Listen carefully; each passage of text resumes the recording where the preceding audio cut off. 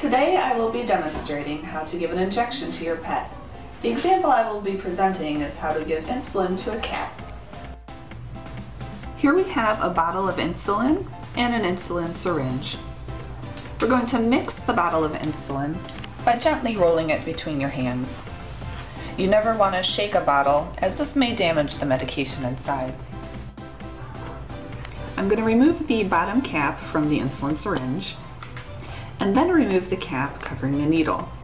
You always want to be careful when handling needles. Invert the bottle, then place the needle through the rubber top.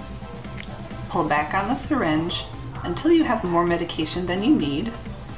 Gently push back until you reach the prescribed dose for your pet. Most injections are given under the skin, and most areas of the body can be used. However, usually the back of the neck and shoulder area are the easiest to access. Create a tent in the skin by gently pulling up and insert the needle holding the syringe parallel to the body and inject the medication. Congratulations! You have now given your pet an injection.